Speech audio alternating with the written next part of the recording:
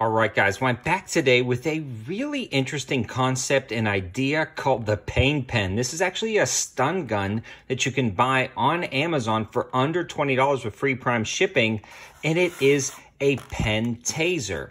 This is really unique and interesting because a lot of the tasers that I've seen or stun guns that I've seen are always a little bit more awkward to carry, difficult to conceal, or you have to keep them in an off-body carry, something like a purse or something like that. Well, this one easily slides into your pocket, whether it be a shirt pocket or pants pocket or inside your belt, and it's incredibly discreet, allowing you, if you're going back to school, college, things like that, if your daughter or son's going back to school and you want to give them a little personal defense, this seems like an absolute great option for 20 bucks. It could give you a slight peace of mind. Now, obviously there are much better products out there for personal defense, but when it comes to a discreet carry option, this is actually really slick.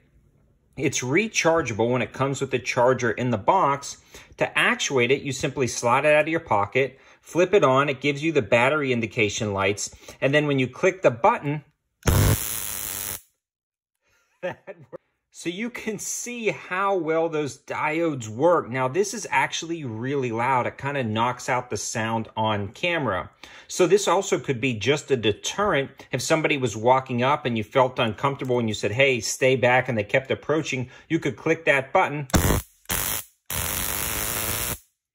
So after you flip the switch on, the lights will come on, but after a short period of time, the lights will go off. So if you were walking down maybe a dark alley somewhere and you felt a little bit uncomfortable or back into your car, you go ahead and turn this on before you left and the lights will eventually go off, but you can actually still actuate the stun gun by depressing this button, or it's actually really simple to just slide it on and hit the button. No big deal at all. So having a discreet defensive tool like this is actually really slick you can throw it in your charger. I've been playing with this for a couple of days, hitting the button, and it doesn't drain the battery actually too much. So uh, effectively, you could get a lot of different taser strikes in with something like this and use this as a pretty cool defensive tool or a deterrent tool from an attacker, especially if you didn't have other options available.